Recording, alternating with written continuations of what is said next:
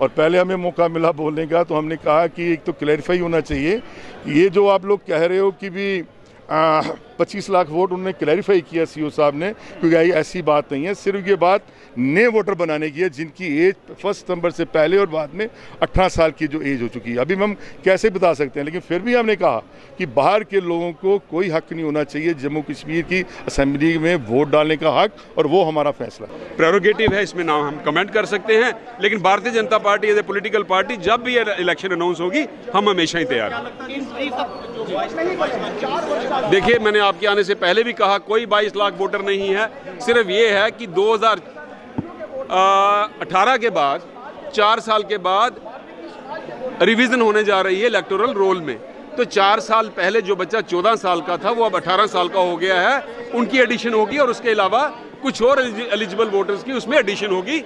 ये कहने का तात्पर्य था था। मुझे पीडीपी मुझे एनसी मुझे कांग्रेस से कोई लेना देना नहीं है, मुझे कानून से लेना देना है। J and K representation of people act जो 370 एब्रोगेट होने से पहले जे एंड के को अप्लाई कर रहा था वो रिपील हो चुका है।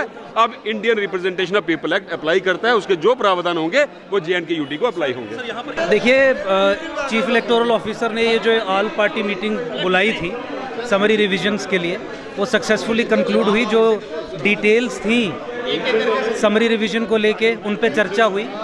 डेट्स फाइनलाइज की गई। बताया गया कि कब कब फाइनल लिस्ट बन जाएँगी और डिफरेंट पॉलिटिकल पार्टीज़ के जो ऑब्जेक्शंस थी उनको रिकॉर्ड किया गया है। और मुझे लगता है कि 1950 और इक्यावन के रिप्रेजेंटेशन ऑफ़ पीपल्स एक्ट पे जो कुछ एप्रीहेंशंस थी कि ऑर्डिनरीली कौन रेजिडेंट होगा, उसे क्लियर किया गया। Section 20 read with section 16 of the representation of peoples act 1950 clearly बताता है कि ऑर्डिनरीली रेजिडेंट कौन होगा। और अब ये तय हो गया कि कोई भी हिंदुस्तानी जो जम्मू कश्मीर में ऑर्डिनरीली रेजिडेंट है, मुझे लगता है कि तमाम पोलिटिकल पार्टीज़ की सेटिस्फेक्शन के हिसाब से ये हो गया कि वो यहाँ पे वोटर बन सकता है प्रोवाइडेड वो अपना पुराना वोट वहाँ पे डिलीट करवा ले एक सवाल कहीं से आया कि आप कैसे तय करेंगे कि उसने अपना पिछला वोट कटवाया या नहीं? तो उसके जवाब में पूरा एक फॉर्म है जो भरना पड़ता है नया वोटर बनने के लिए। उसके साथ एक एफिडेविट फ़ाइल करना पड़ता है। वो एफिडेविट में क्लियरली कहना पड़ता है कि हमारे पास कोई दूसरा, दूसरी जगह पे हम वोटर्स नहीं हैं। तो तमाम सेफ़ जो हैं, उनके बारे में जानकारी दी गई। तो एक फ्रूटफुल मीटिंग रही। एकजुट जम्मू पार्टी ने अपना समर्थन 1950 और इक्यावन के एक्ट को बताया।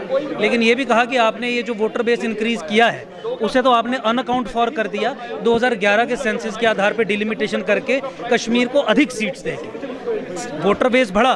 हिंदुस्तानियों को वोटिंग का हक मिला वेस्ट पाकिस्तानी रिफ्यूजीज को वोटिंग का हक मिला, वाल्मीकि समाज के, गोरखा समाज के लोगों को वोटिंग का हक मिला। वो नंबर्स बढ़े, लेकिन जहाँ जम्मू की सीट्स इन सब आधारों पे 50 के करीब होनी चाहिए थी, आपने गलत आधार पे डिलिमिटेशन करवा के वो तैंतालीस कर दी, कश्मीर को सैंतालीस दे दी। इलेक्शन कमीशन से बिल ये क्लैरिफिकेशन मांगी कि जो मार्केट में ये 25 लाख 25 लाख वोटर का नंबर आ रहा है, ये क्या है, इसकी क्या सदाकत है, और आप इसमें क्लैरिफिकेशन दें। तो उन्होंने कहा कि ये ऑलरेडी क्लैरिफिकेशन दे चुके हैं, इसके कोई मायने नहीं है, कोई बेसिस नहीं, कोई कुछ नहीं है। ये पता नहीं कहाँ से ये रूमर उड़ गई है तो इसकी कोई वैलिडिटी नहीं है। वोटर जो है, वो वही होगा जो real resident of Jammu Kashmir है। उस और कोई इसमें वोट नहीं दे सकता है, या बाकी जो प्रावधान है एक्ट के मुताबिक वही वोट देंगे। बाहर से या नॉन लोकल कोई वोटर नहीं होगा। देखिए साहब चीफ इलेक्टोरल ऑफिसर साहब ने जो पहले प्रेस कॉन्फ्रेंस दी थी उस प्रेस कॉन्फ्रेंस में उन्होंने कहा था कि यहाँ जो वोटर लिस्टें ऑलरेडी बनी हैं उसमें 25 लाख वोटर और ऐड होने जा रहा है। और वो वोटर ज़्यादातर जो होंगे वो बाहर के होंगे बाहर के राज्यों से होंगे। हमने ये इसके ऑब्जेक्शन उठाए। पहला ऑब्जेक्शन हमारा था ये साहब, आप 25 लाख की ये फिगर कहाँ से लाए आप? दूसरा ये था भाई कौन लोग इसमें लाएँगे आप? बाहर के राज्यों के लाएँगे पैरामिलिट्री फोर्सेस के लोग लाएँगे, या कौन लोग होंगे? हमें वो क्लैरिफाई कीजिए। ये हमारे ऑब्जेक्शन थे। इन्होंने पहले ऑब्जेक्शन का ये कि भाई जहाँ तक 25 लाख की फिगर है, वो मैंने कहा नहीं है। वो तो अगर कहा होगा तो मैं विड्रा करता हूँ ड्रा विड्रा कर दिया उसका। तो वो ऑब्जेक्शन हमारा हमें सेटिस्फेक्शन होगी गई पार्टी ने यहाँ बैठकर जो धरना दिया है और उनका ये कहना है कि ये सिर्फ़ इलेक्शन को टाला जा रहा है और लोगों को बेवकूफ़ बनाने की कोशिश की जा रही है। नहीं ये तो बात इन्होंने इलेक्शन के बारे में कुछ नहीं कहा है। इन्होंने कहा सब हमारा सिर्फ़ ये आज जो मीटिंग बुलाई है वो हमारे रिविज़न समरी रिविज़न वोटर्स लिस्टों के बारे में है। तो हमने वो बात की, लेकिन हमने उनसे पूछा कि साहब, आप पिछली जो प्रेस कॉन्फ्रेंस आपने की, जो डाउट्स हमें क्रिएट हुए हैं, हमें उसकी क्लैरिफिकेशन दीजिए। उन्होंने पैरामिलिट्री फोर्सेज के लिए भी कहा कि साहब पैरामिलिट्री फोर्सेज क्योंकि ये डिस्टर्ब एरिया है, यहाँ वोटर डाल नहीं सकते वो वोट अगर डाल नहीं सकते तो बाहर का जो पैरामिलिट्री फोर्सेज वाले हैं, वो वोट डाल, बना, बनाएँगे क्यों? तो ये भी बात उन्होंने क्लियर की है। और बाकी जो बाहर के लोग होंगे, उन्होंने कहा पीछे पहले वो वोट अपना ख़त्म करेंगे, तब फिर यहाँ बनाएँगे, लेकिन अभी कोई बात हुई नहीं है।